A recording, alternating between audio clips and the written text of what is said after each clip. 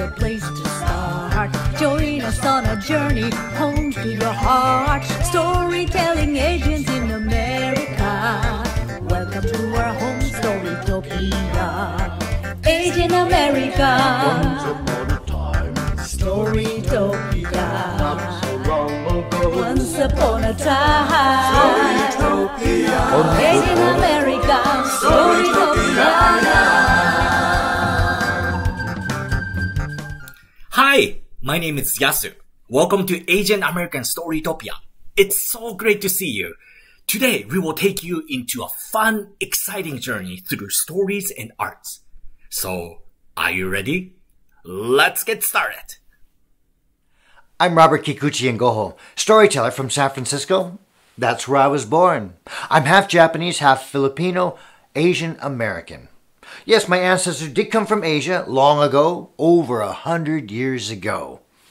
Well, I was raised to appreciate the many cultures of my ancestral roots, and so here's a story that you might enjoy as well. A folk tale from Thailand, a single drop of honey. Once upon a time, there was a beautiful kingdom. Oh, a peaceful kingdom where life was oh so sweet. And it was ruled by a wise king and queen. They had a golden rule, actually, two make things right, clean up your mess. Two simple principles that led the kingdom into a beautiful life for all its citizens and the people. They followed these rules.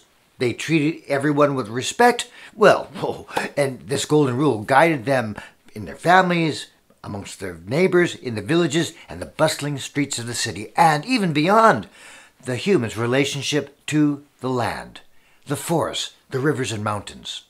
Make things right, clean up your mess. Now, each year the king would go on a royal inspection, and to make sure that people were following the golden rule. Now, one day, well, the royal elephant was loaded up. There were banners and the drummers, and the procession was ready to proceed when the king heard the sound, Honey! Oh, oh, oh yes, my dear. Honey! Uh, yes, what did you want? Honey, my dear, what do you want, my queen? Honey, we need honey. Our royal pantry is empty of honey. Please go to the marketplace and get some. Oh, honey, of course, hon. And so the king snapped his royal fingers, and the royal honey servant came. Yes, indeed, your highness, completely empty. Good. We'll pick some up at the marketplace after our inspection. Well, the drums resounded, and the royal procession proceeded from the farms and the villages to the bustling streets of the city to inspect the kingdom. And the rules were followed, and people lived in harmony. Oh, life was all so sweet as people set things right and cleaned up their messes. Well, the inspection was now over, and now it was time to go back home when the servant called out, Your Highness, we need to get honey. Oh, yes, honey. And so he snapped his fingers, and that royal honey servant went to the honey vendor. Go, go, go, go, go, go, go, go, go, and filled it to the brim. Now, as that servant was carrying that heavy jar of honey, uh, one single drop, bing, landed in the dirt. Oh, oh, oh, oh, I must clean it up. Come on, let's hurry with that honey. We've got to get back to the palace. But, Your Highness, um, a single drop of honey on the ground I spilled. Oh, don't bother. It's just a single drop of honey. What could a single drop of honey do? And so off they went back to the palace. As that single drop of honey glistened in the sunlight. Just then, a gecko saw that glistening ball of sweetness and started licking it. And he was so happy he was wagging his tail in the dust, and a flurry of dust whipped up in the air and was spotted by a cat who chased after that gecko. And oh, it was such a, an exciting scene to see that the people started looking. Wow, look at that! That's funny. oh, but the uh, the cat owner he didn't want that happening, and so uh, he was about to call his cat back when suddenly woof, woof, woof, a dog came running out, chasing after the cat. Woof woof woof! As the gecko ran around, licking his lip. Oh my goodness, this is starting to get exciting, said the bystander. Look at this!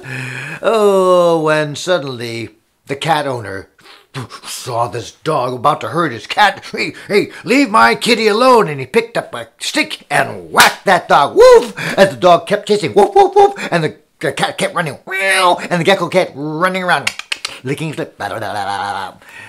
Just then, the dog owner saw the beating of his dog, and she raised her broom. Don't hurt my doggy! And whoomp! Whacked that cat owner who whacked that dog, and the dog chasing. Whoop whoop! The cat. Meow! The cat gecko licking his lip. Oh, now everyone was laughing and pointing. Ha ha ha! Except the child said, "Shouldn't we stop this?" Those animals are and those people are getting hurt. Oh, why bother? It's about time we have a little entertainment around here.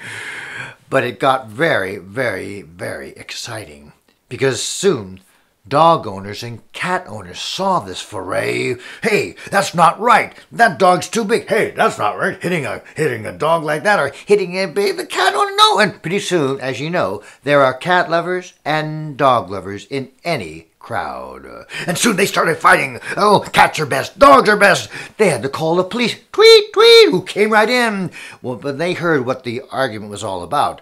They were cat and dog lovers themselves. Oh, cats are better, dogs are better. And pretty soon there was a huge fight with the police and the people and the dog owners and the cats. And the dog and the gecko licking his lip. Now the army needed to be called in to stop this riot. But of course, they joined in. Cats, dogs, cats, dogs. Oh, oh, oh, the marketplace was a mess. Oh, the, the stalls were knocked over. Fruits were thrown in the air. Even some cats flying through the sky here. Oh, it was a holy mess. Now, at this moment, the king and queen were about to step out on their palace veranda to gaze upon the beauty of their peaceful kingdom. What? What's going on here? Sound the royal gong! Bong! The people stopped in tracks. What is going on? Who started this? Who? The army, the police, the people, the cat, the cat, the dogs, the cat, dog, cat, cat, dog, dog. The queen stepped forward, and in her wisdom, she she saw that that gecko running around. She picked him up really quickly and huh? Ran her fingers around the lips of that gecko. Oh. Honey. Honey? Honey. Oh. Honey. honey. Sorry, hun. Well, the king was about to blame the royal servant when the servant said, But, Your Highness, you said don't bother. Well, the king felt so embarrassed he need to admit that he made a big, bothering mistake. And so the queen stepped forward, and in her wisdom, she made sure the king cleaned up his mess and set things right. And so, along with the people, the army, the police, the dog and cat owners, they all set about making things right and cleaning up their messes. Oh, and they also decreed an additional law as well if you don't take care of the little bothers, the bothering gets bigger. And so by the end of the day, the king and queen stepped out onto their palace veranda, gazed out upon once again a peaceful kingdom, and once again life was oh so sweet.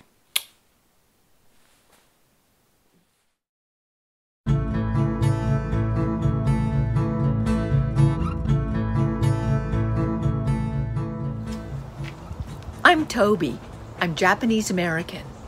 In 1916, my grandparents came from Japan to the United States to make it their new home.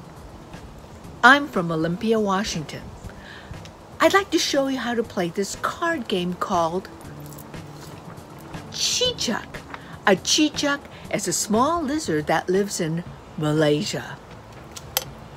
Now with this card game, the object of the game is to be left with the joker or the cicak. Let's play. We're gonna decide who's gonna go first, me or my buddy, Rebecca. So of course we're gonna do rock, paper, scissors. You ready, Rebecca? Mm -hmm. 最初はグー、じゃんけんぽん You're first. so you have your deck of cards and make sure you only have one joker in the deck. The joker is the Cicak.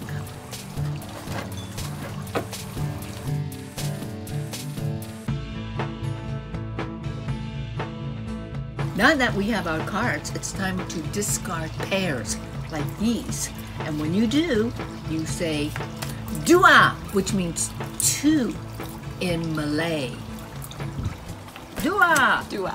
dua.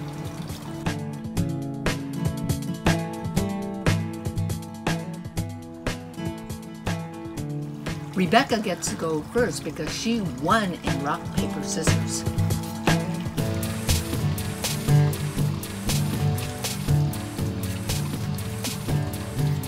Dua.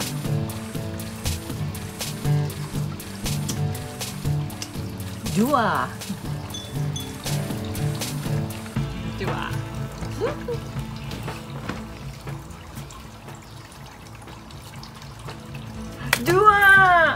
Cicak. Cicak! Who knows? Maybe next time when we play, I'll get to be Cicak. Hello there. My name is Anne Shimojima. I'm a storyteller in Illinois. My grandparents came to this country from Japan over a hundred years ago. So I'm Japanese American. This story is an old folk tale from Japan called Luck from Heaven and Earth. Now, in Japan, January 1st, New Year's Day, is a very important holiday. On January 1st, you want to have your house clean from top to bottom.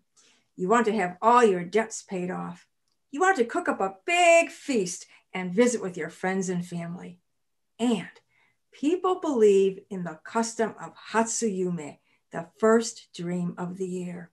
It is said that the first dream of the year can predict how your entire year will go. So everyone wants to have a good and prosperous dream for their first dream of the year. Well, once a long time ago, there were two men who were neighbors. One man was honest and hardworking, a very good man. The other man was a greedy scoundrel. One day, just before New Year's, the two men met by the side of the road and started talking. They decided to meet again after New Year's and compare their first dreams of the year. So, a few days later, they met again. The good man said, I had a wonderful dream. I dreamt that luck came to me from heaven. The greedy man said, Well, I had a good dream too. I dreamt that luck came to me from the earth. Well, said the good man, we'll have to see if our dreams come true. Later on that day, the good man was digging in his field and his shovel hit something hard. So he kept on digging, and what did he uncover but a great big pot with a lid on it? He lifted the lid, and to his surprise, inside he saw a pile of gold and silver coins. He thought, oh, this must be the luck from my neighbor. It comes from the earth. I must tell him about it. He put the lid back on, put the pot back in the earth, and covered it very carefully with dirt so no one else would find it. He went off to tell his neighbor. The greedy man was very glad to hear this news, and the good man told him exactly where to find the pot. So later on that day, the greedy man went to the field and dug up the pot. But when he lifted the lid, what did he see but a pile of writhing, hissing snakes? He flew into a rage. He thought, My neighbor thinks he can play a trick on me. He thinks this is funny. Well, I'll show him. He put the lid back in the pot and he went home. Late that night, the greedy man left his house with his pot and a ladder. He went over to the good man's house. He leaned the ladder against the side of the house and he climbed up to the roof with the pot. He went over to the chimney and looked down. He could see the good man and his wife sitting at the table eating their supper. He took the lid off the pot and said, Here's your joke. And he turned the pot over and he shook the contents into the chimney. Down below, the good man heard a noise coming from above, and he looked up just in time to see a shower of gold and silver coins coming down the chimney. Look, he said to his wife, here is our luck from heaven. So the good man and his wife lived happily to the end of their days. Hope you had a fun, exciting journey through stories and arts. Please give us a thumbs up to the video and please don't forget to subscribe Asian American Storytopia channel so that you don't miss any exciting updates from us. We cannot wait to see you at the next episode. またね That is a see you in Japanese. So, またね